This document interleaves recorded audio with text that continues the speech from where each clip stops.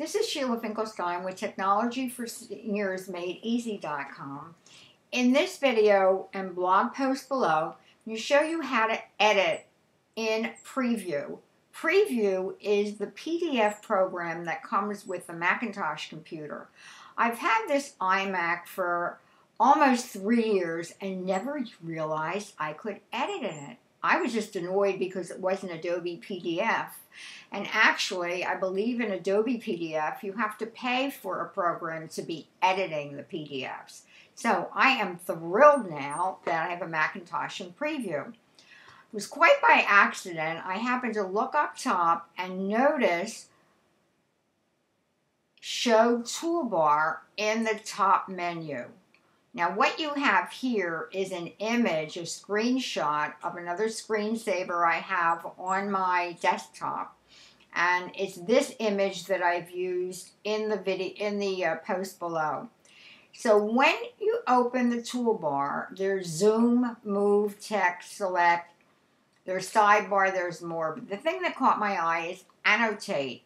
And clicking on the annotate, and let me And clicking on the annotate, you've got a bottom toolbar that has brings up here it brings up a text box that you're undoubtedly used to the text box with fonts that comes up when we're doing uh, typing on a web post or in a document in email. And real fun thing, one of the fun things is the arrow link on the far left. Here's color. No, it's hard to see here, but there's a color. Can choose colors. I have red to make it easier.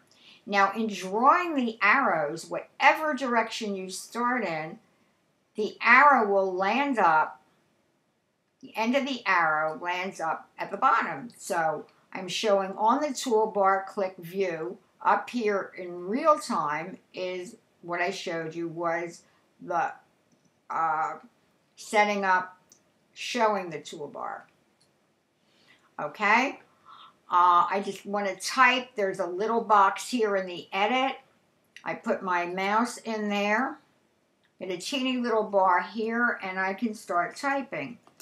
Demo of editing preview.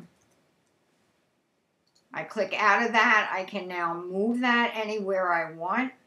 I'll put it up in the gray, can change color, but basically I wanted you to see this. So it's the arrow, the typing are the main things, and then you can change in that other box, you can change the font size, the type, etc.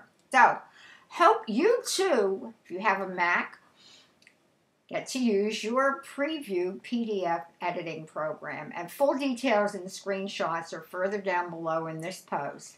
I'd love to hear what your experience of it, this is, if you've learned anything new and how it helped you. If so, please make notes in the reply at the bottom of the reply box at the bottom of this post. Thank you for visiting Sheila Finkelstein, Technology for Seniors Made Easy.com slash blog.